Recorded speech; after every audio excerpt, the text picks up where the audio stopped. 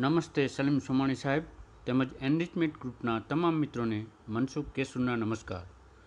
મિત્રો, આપણે સૌપ્રથમ તો સોમાણી સાહેબને એનરિચમેન્ટ સેશનના તેમના દ્વારા એકથી સોમાં એપિસોડ સુધીની મેરેથોન સફર કરી, સેન્ચુરી પૂરી કરવા બદલ તેમજ પહેલા માઇલસ્ટોન પર કદમ મૂકવા બદલ દિલથી શુભેચ્છા પાઠવીએ.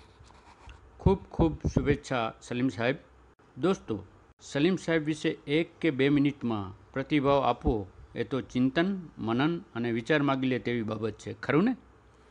મિત્રો, સલીમ સાહેબ પોતાની મહેનત, ખંત, ઉચ્ચ શૈક્ષણિક લાયકાત તેમજ ઊંડાણપૂર્વકના વાંચન અને અથાગ પરિશ્રમના પરિપાક રૂપે આપણા હમદોસ્ત બની એનરિચમેન્ટ સેશનની શૃંખલાને આપણી સમક્ષ પ્રસ્તુત કરતા આનંદ અને હર્ષની લાગણી વ્યક્ત કરે છે.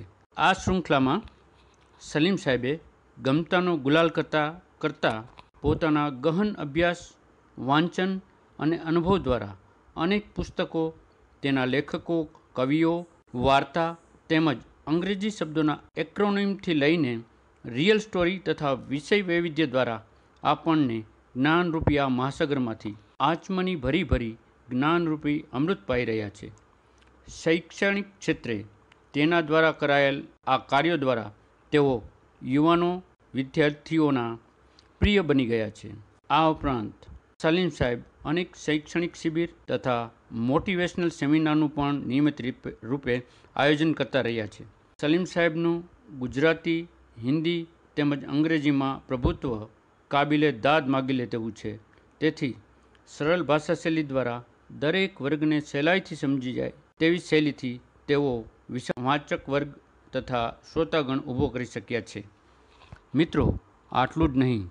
સલીમ સાહેબ આકાશવાણી રાજકોટમાં કાર્યક્રમ અધિકારીનું પદ પણ શોભાવી રહ્યા છે.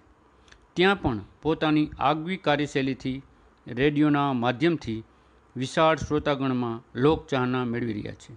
દોસ્તો, અંતમાં આપણા સૌના પ્રિય એવા સલીમ સોમાણી સાહેબ એનરિચમેન્ટ સેશનના સોમાં એપિસોડથી આગળ શુભારંભ કરી એક નવો જ વિશ્વ કીર્તિમાન સ્થાપે અને આપણા સૌનું માર્ગદર્શન, ઉત્સાહ તેમજ જ્ઞાનવર્ધન કરતા રહે તેવી શુભેચ્છા પાઠવી વિરમું છું. આપનો દોસ્ત મનસુખ કેશુરના પ્રણામ.